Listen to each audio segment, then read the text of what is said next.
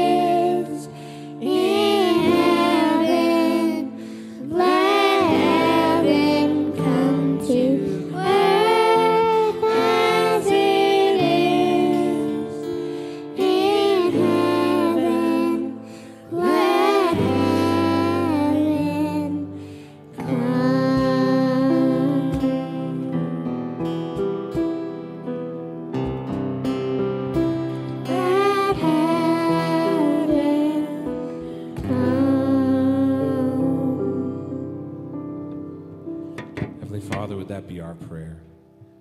That we would wait on your kingdom coming, not trying to set up our own, but God, help us to put ourselves on the side and put you first, caring about the things that you care about. And Lord, thank you for providing for our needs. In Jesus' name we pray. Amen.